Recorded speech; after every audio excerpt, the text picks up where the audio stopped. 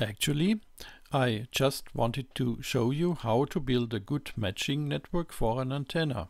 This has now become a small guide on how to calculate an antenna matching network. Anyway, the matter is not only of interest to students and high frequency engineers. Everyone else can work with it too, because there is a downloadable tool for it.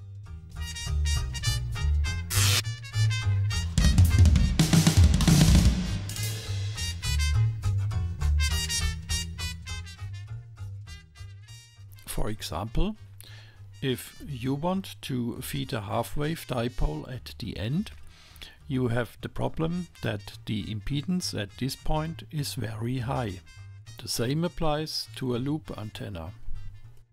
The impedance is typically 1000 to 4000 ohms.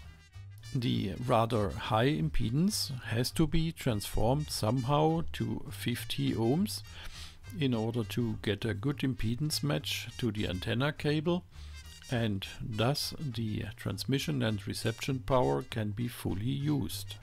I analyzed loop antennas and a J-pole antenna in previous episodes and showed how to build them yourself. Today it is about how to construct a good feed network for the antennas. Okay, here is what today's video is about. I will explain to you how to calculate a feed network that consists out of waveguides. You might say, the thing looks like it's just a short circuit. And yes, that's right. However, in a certain frequency range, such a network does exactly the impedance transformation that we need.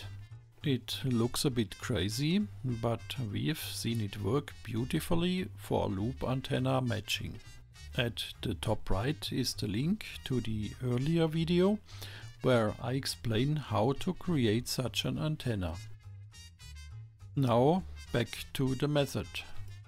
First I want to show you a very simple principle that can be used to match an antenna impedance to the right value among other things.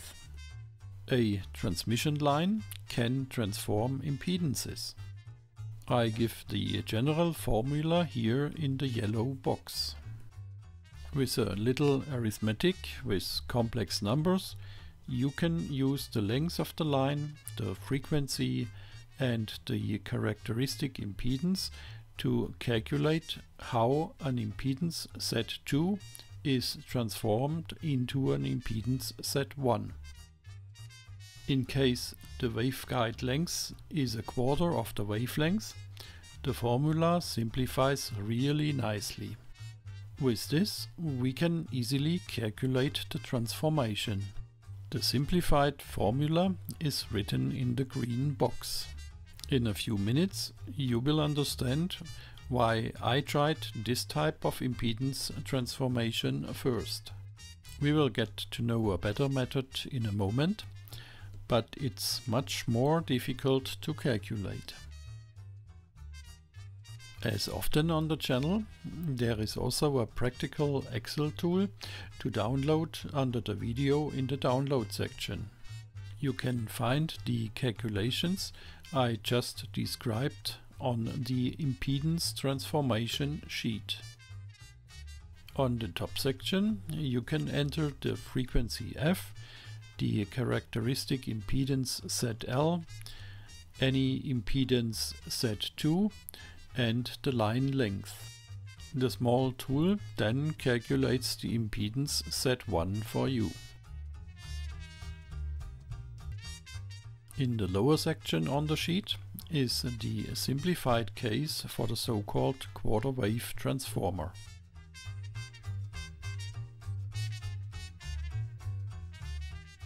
When building antennas with wires or planar structures, you ask yourself, how can I determine the characteristic impedance of wires or band waveguides? Well, you will find the formula for the characteristic impedance of parallel wires in Wikipedia. But for the two-band waveguide, I had to struggle a bit to find the formula in my scripts from my former scientific work. And guess what? I used it immediately for the calculations in the waveguides sheet.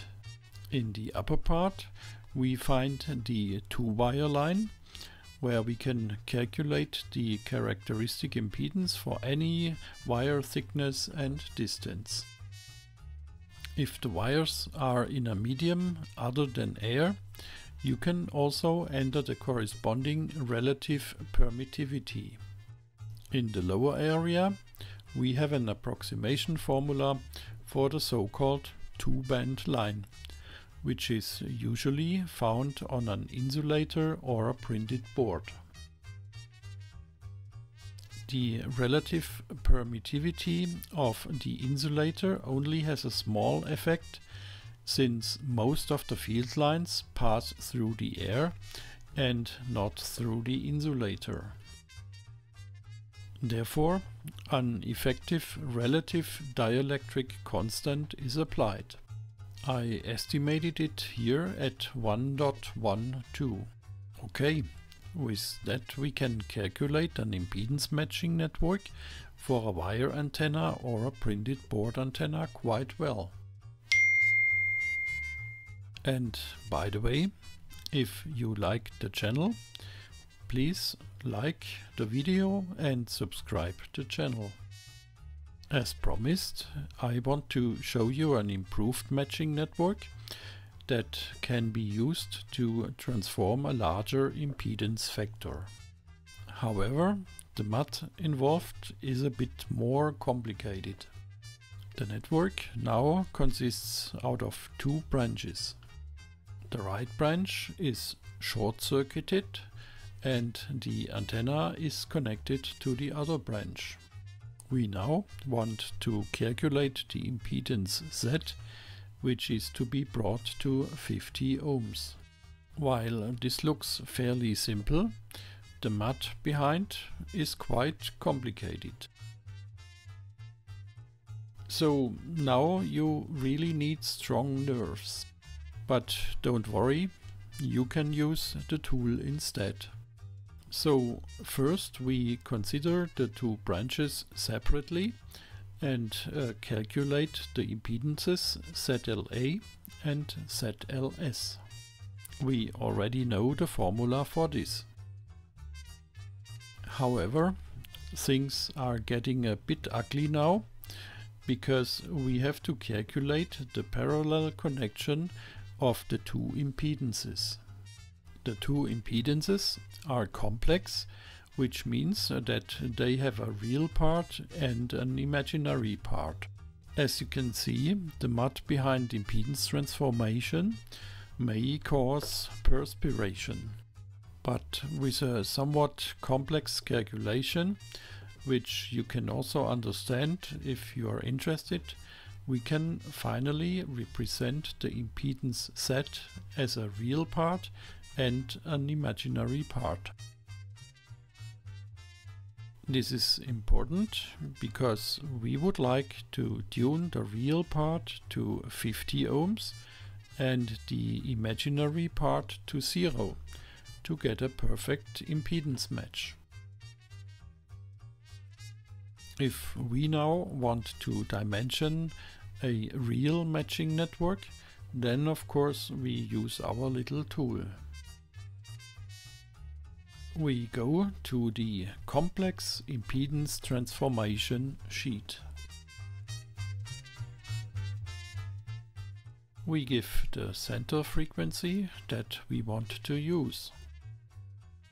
So in my case the frequency is 866 MHz because I want to use the antenna for a LoRa frequency band.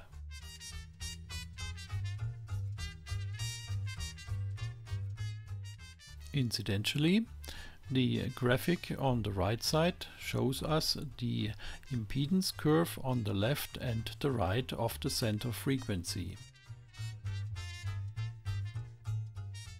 we can define the range by the frequency steps in percent.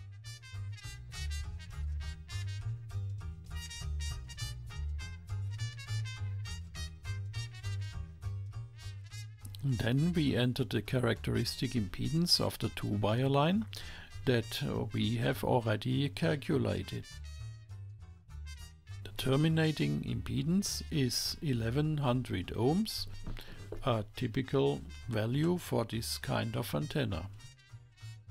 On the other side is the short circuit with 0 ohms. The length of the waveguide is 0.0866 meters, which is exactly a quarter of the wavelength. The length ls is a critical value because it has a major impact on the transformation ratio. We thus move our connection point along our transformation waveguide with ls. The closer we get to the end with the short circuit, the larger the transformation ratio becomes. Since we need a large transformation ratio, we try the value 0.02 for ls. With 138 ohms and a big reactive component of minus 119 ohms, however, the impedance Z is still far from a good match. Now we could manually shrink LS until we get the optimum impedance match. I prefer to do it with the Excel solver. To do this, however, we have to remove the Excel sheet protection. I have dedicated a small section to the Excel solver at the bottom. There we enter our target values for the desired impedance. In our case 50 ohms. The reactive component should be 0 as said before. We can now use the cost function below for the solver which basically describes the deviation from the target values. We say that the cost function should become 0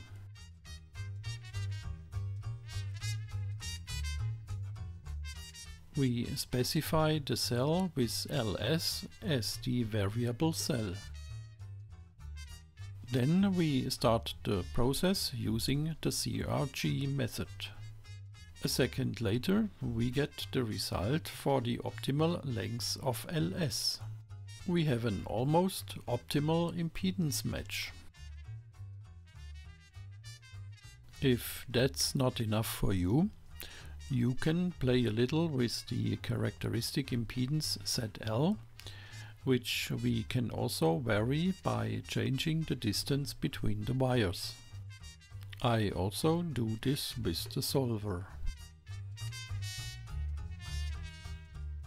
But this time I give two variable cells, the one with LS and the one with the characteristic impedance ZL.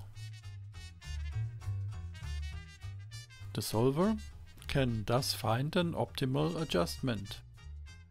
The real part of Z is exactly 50 ohms and the imaginary part is exactly 0. Cool, right?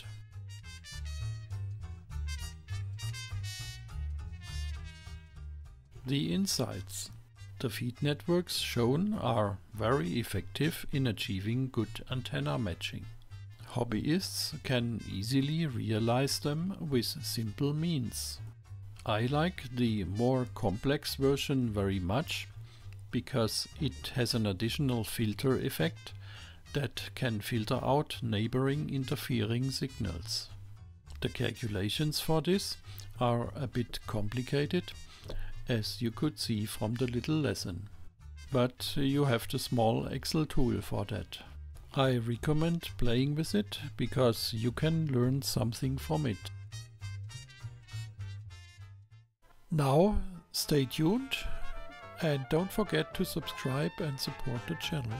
See you soon in the coming episodes.